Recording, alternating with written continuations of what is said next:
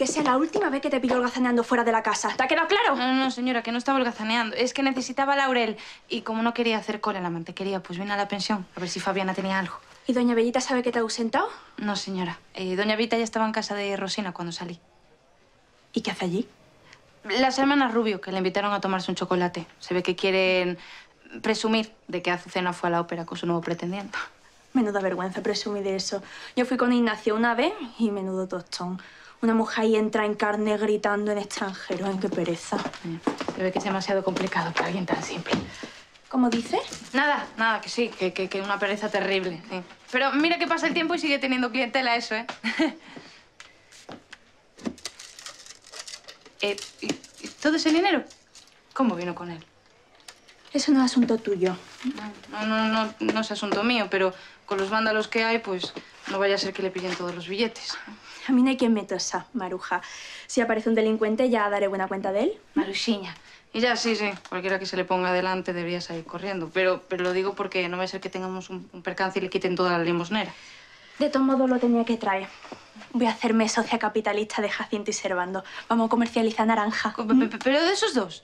¿Pero no se acuerda que le quiso Servando vender un piano y al final le dio un acordeón viejo? Mira, yo no me acercaba a esos ni a dos metros, ni muerta. A ver, ya sé que un liante de primera, pero que un negocio seguro, ¿sí? No sé. Yo me lo pensaría mejor antes de soltar perra chica, ¿eh? Que ese es peor que el bandido ofende testas. Que me ha costado dar con el maldito hierbajo. Doña Lodia, de verdad, si se llego a saber que está usted esperando aquí, vamos, hubiera mandado hacer, hacer puñetas el, el- el laurel este. Ya veo que ha traído el dinero. Sí, sí, lo trajo. Pero antes tengo un par de preguntiñas. ¿Cuál es el negocio que tiene con mi señora?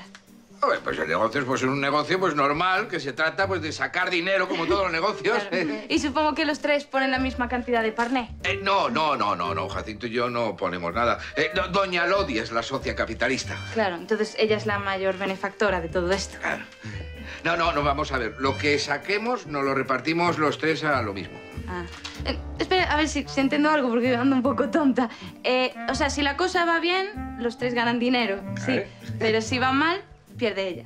Eh, va- vamos a ver, nosotros ponemos los contactos, la idea, la, la red comercial, ¿te parece poco? Pues sí, me parece poco. Ahora Vale, usted, usted no haga caso al servicio, que ya ve cómo... Este tiene la cabeza a pájaros, de verdad. Que eh, así le va. Eh, ¿Me puedo coger el dinero ya? Me da que lo que ha dicho es de lo más sensato. Mejor me quedo yo el dinero y lo utilizo para la reforma de mi casa. ¿Le parece? Vámonos, Marusiña. Vámonos.